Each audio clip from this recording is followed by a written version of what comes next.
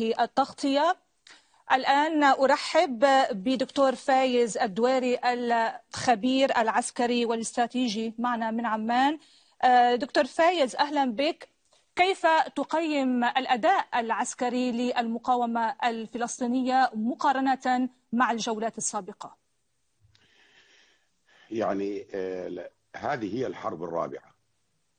2012 بدأت من حيث انتهت 2008 و2014 بدأت من حيث انتهت 2012 والآن تنتهي تنتهي أو بدأت ال 2021 من حيث انتهت 2014 منحنى أداء المقاومة هو منحنى صاعد في هذه الحرب هناك تم الكشف عن أربعة أسلحة نوعية. صاروخ A120 صاروخ عياش 250 صاروخ عفوا طائرة درون والآن عن الغواصة أو التوربيد الذي يحمل المتفجرات. هناك أداء متميز في التغلب على قدرات القبة الحديدية. إسرائيل تسعى لتحطيم إرادة القتال كهدف استراتيجي والقضاء على القدرات العسكرية للمقاومة كهدف عملياتي والقضاء على الأنفاق كهدف تكتيكي. لم يتحقق أي منها. لا بل نحن الآن نتابع ضربة بضربة. قد تكون الضربات الإسرائيلية أكثر إيلاما أكثر وحشية أكثر دموية تدمر البنى التحتية لكن المقاومة تقدم أفضل ما تستطيع وهي أصبحت ند من حيث الردع مقابل الردع. نعم عذرا دكتور فايز فقط أود أن أشير إلى هذا الخبر العاجل.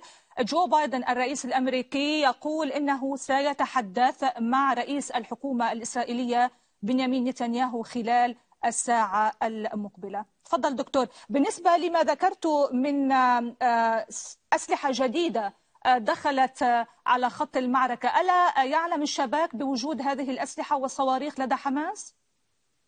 لو كان يعلم بها لاتخذ إجراء ولا أعاد الحسابات.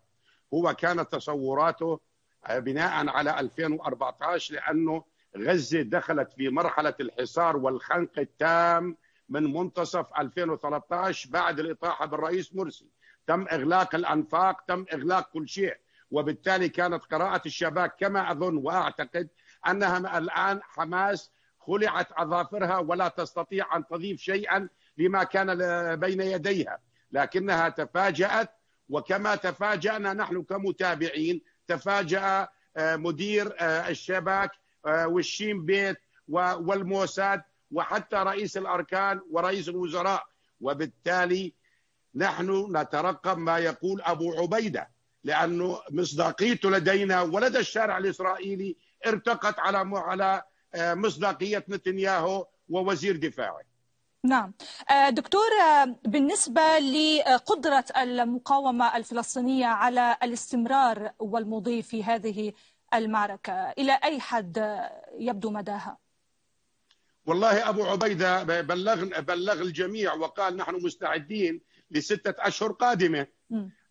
لنعتبر أن في تصريحه نوع من بث الرعب لكن لا أعتقد أن هناك شح في مخزوناته وموجوداته وتستطيع أن تخوض أسابيع قادمة من حرب مستمرة على نفس السوية والوتيرة. نعم.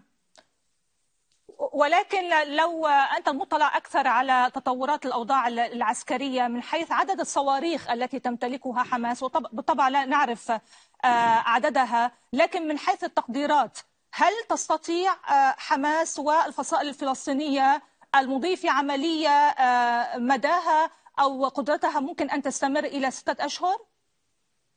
هذا ما قاله أبو عبيدة.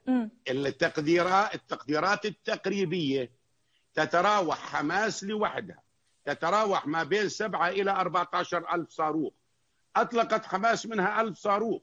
فإذا أخذنا الحد الأدنى أمامها ستة أسابيع قادمة. لأنه الآن إحنا دخلنا في اليوم على وشك اليوم التاسع وأطلقت ألف من أصل سبعة. إذا قلنا من أصل 14 معناته أمامها 13 أسبوع. إذا ذهبنا لكلام أبو عبيدة أمامها 24 أسبوع. نعم. طيب البعض يتساءل من أين أتت الفصائل الفلسطينية بهذه الصواريخ وكيف طورتها؟ والقطاع محاصر. الآن من أين أتت هناك أكثر من طريقة؟ لا يعني بعض لا عندما قلنا تم خنق آه، غزة لا يعني الخنق بالمعنى المطلق. كان هناك لا يزال مجال لإدخال بعض المواد وإن كانت بصعوبة.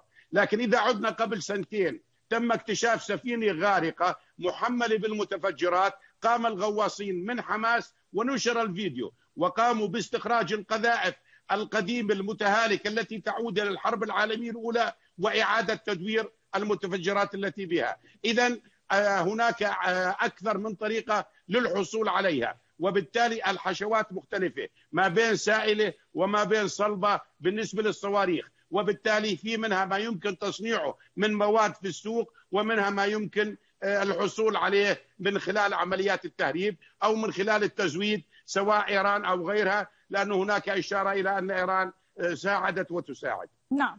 طيب بالنسبة لإسرائيل طبعا من ضمن خططها آه، القيام بعملية برية. متى يمكن أن تقدم عليها؟ العملية البرية في حال إخفاق العملية الجوية بالمطلق. والعملية الجوية في طريقها للإخفاق لكن هناك ضغوطات من الشارع الإسرائيلي وحتى من العسكريين على نتنياهو وعلى الطاقم السياسي للكابينت المصغر بإيقاف الحرب في هذا اليوم كان هناك احتمالية عقد آه، إلقاء كلمة لنتنياهو ليتحدث عن الإنجازات.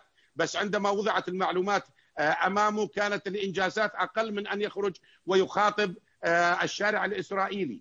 آه، لكن السؤال إذا أرادت إسرائيل أن تقوم بالحرب البرية قد تقوم بها.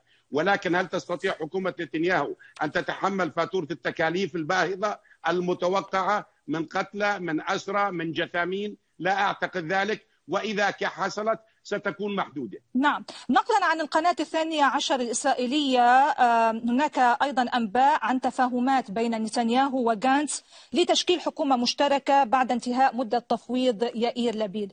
وبالتالي آه، يبدو أن نتنياهو حقق هدفا سياسيا من وراء العدوان الإسرائيلي على آه، غزة. بالتالي آه، يريد تحقيق هدف أيضا